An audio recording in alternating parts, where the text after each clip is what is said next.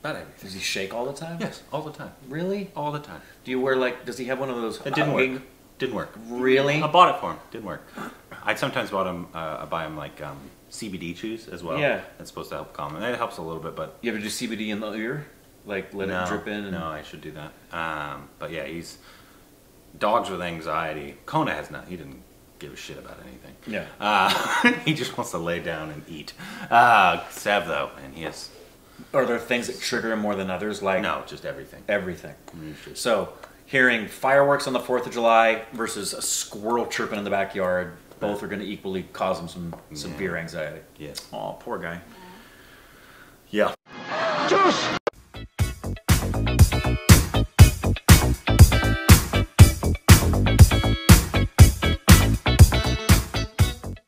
Hey, welcome back to our stupid Rex It's up Korbin. I'm Rick.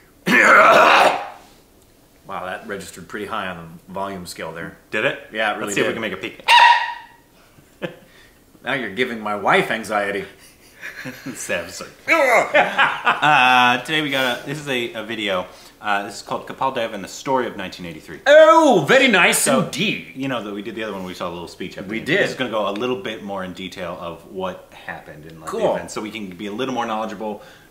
It, I feel like it's not a spoiler. It's like No. we, we know that they won. We know they won, And so- we know it was dramatic, and it was more than just an underdog kind of a Yeah, win. It's it's it's. And I, when you're watching something like this, it, I think it kind of wanna a helps you. historical context. Yeah, no, yeah, there's like both ways. If you go in blind, that's cool if it's teaching you, and it's also cool to know and see if they replicated it the right. yeah. way.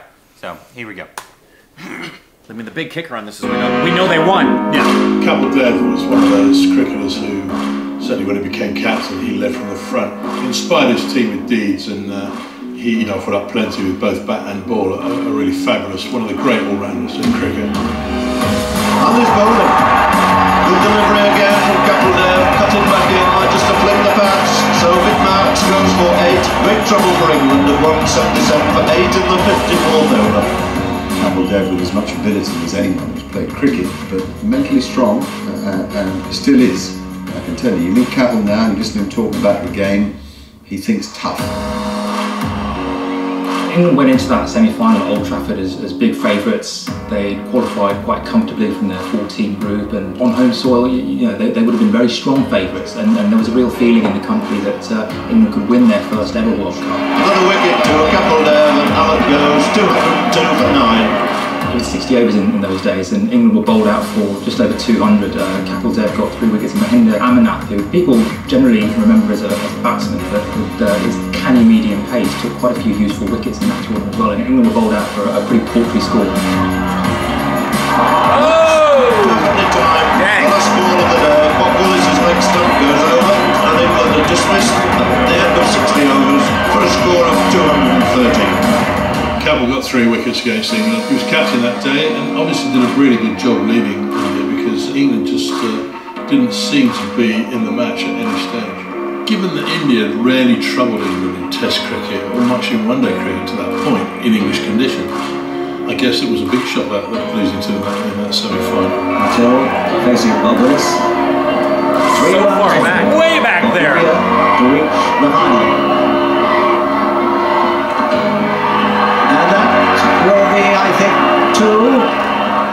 The toss and first, and they sort of just meandered their way to about 200 and odd. Uh, against a good Indian batting lineup was not enough. There you are.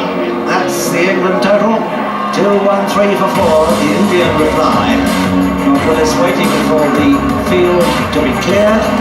This, I think, we can confidently predict will be the last ball. And there can be no English recriminations. It will be a tremendous Indian victory. They've beaten West Indies, they've beaten Australia. There's a common misconception about that India side that it was essentially a Kapil Dev's team, and, and while he did have an outstanding tournament, it really was a team effort. Guys like Madan Lal and, and Roger Binney and Mohinder Amarnath, who got man of the match in the, in the semi-final and, and the final, in English conditions against a team who many thought were the best in the world at the time in the West Indies. They produced a masterclass of adapting to conditions and coming to the party when it mattered. Uh, be happy with the single because that brings up the 100 for India. 100 on flying out, 6 more to Patil. In 1983, the World Cup was again held in England, and the scene was set for a third West Indies triumph in a row. They really were the masters of the one-day game. They've been dominant Viv for a long Richards time, still West Indies, in his prime Yeah. as a batsman. Uh, they had great pace bowlers that were able to deliver um, you know, devastating blows. Uh, and, and up against an India side that um, many had found perhaps a little surprising that they had got as far as they had done. They certainly were given no chance at all of getting one over on the West Indies, but of course, in a two horse race in the final, anything could happen. Well, that's safe enough. Ball is bouncing that much, you've got a real good chance of getting away with it, and Srikant did just that. The West Indies were the best team in the world at the time, and they had so many big names that uh, just a, a look at the team sheet would have been quite daunting. But uh, India had some very plucky characters themselves. They, they played pretty well in the uh, in the Caribbean Test Series that, that previous winter, and they had an emerging side with lots of big game players who would have relished the challenge. Having said that, he's just given away four runs with a red one.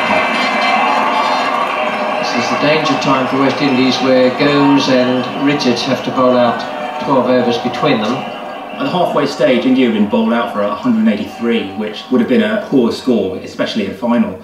And coming up against that West Indies attack, they really just kind of blinked in the headlights. It, it took a few decent partnerships lower down the order even to drag them up to that score. And in a 60 over game with you know the might of the West Indies batting lineup, people really would have been forgiven for thinking this could only have gone one way. It's all over, that's the end. 183 or out. It wasn't a great total. It was something that I guess put them in the game. But the West Indies, with their powerful batting lineup, the likes of Desmond Haynes, Viv Richards, um, would have fancied getting over the line and collecting their third triumph. Good shot. Not so good. Beautifully caught. He's hit that away to within 15 yards of the boundary. And the Indian skipper has done a tremendous job to get back there. Marvellous running catch. And Richards has gone for 33. He was charging through, calling Desmond Haynes for two, but didn't quite get it. It would have landed 10 to 15 yards inside the boundary, and Great Dev had a long way to go to make his ground.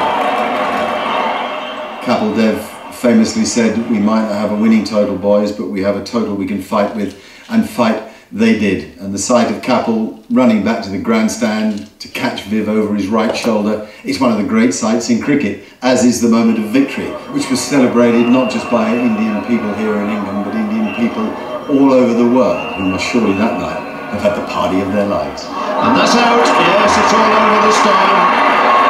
Lost his nerve in the end with Michael Holding. Tried to swing that straight ball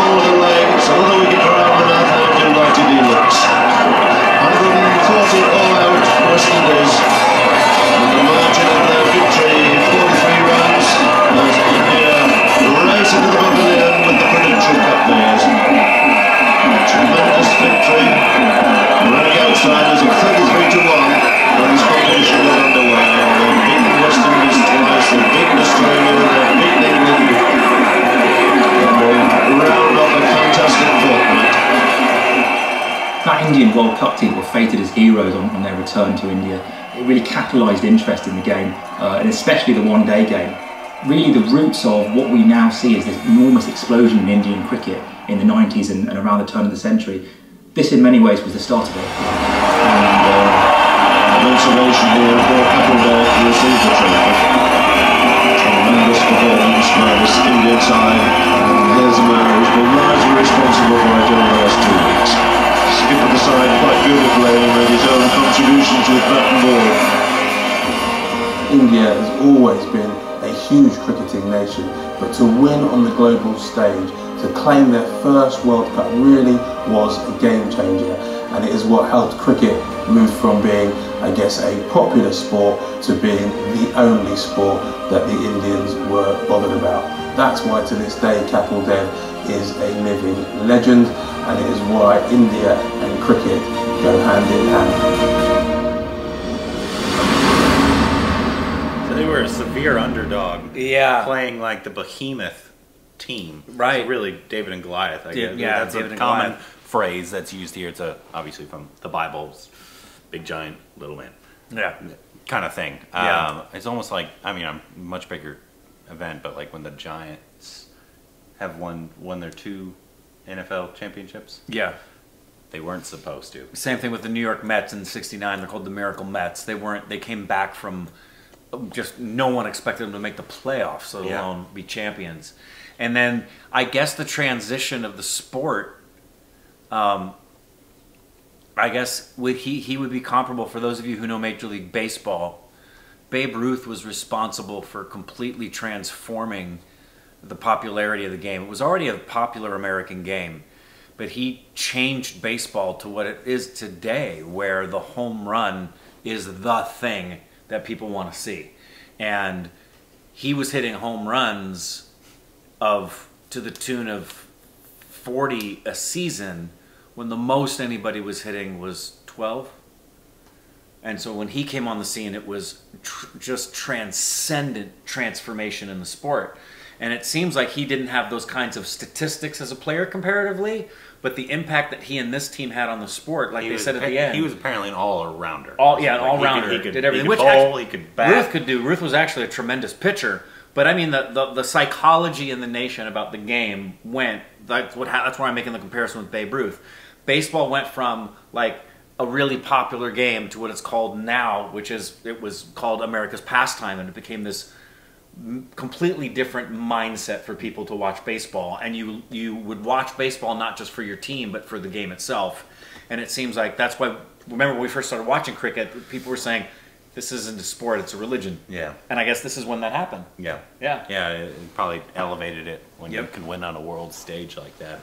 But yeah, I'm, I'm, I'm so I can't wait for this film. Um, I'm so excited to see all their portrayals of. Yeah. Because that one other guy there at the end, they showed him. Uh, I don't know if it's Bunty who's playing him, but he's a pretty distinct look himself. yeah. Um, And I like that about the trailer. We pointed that out in the trailer. this yeah, guy, right he, has, he has a pretty distinct look. Um, that's second 726, the guy next to Kapil Um, pretty distinct look. Um, so I'm wondering if it, if that is Bunty. And I, and I like that. Like I s in the trailer, we pointed out it, they made it really clear from the trailer that this isn't the the one the, the Kapil Dev story. That this is that team, team that year. Yeah, and that every one of those team members made a contribution. Yeah, so Yeah. I'm pretty excited. Uh, so let us know to the cricket videos uh, we can react to informational or uh, highlights. Let us know down below. Juice!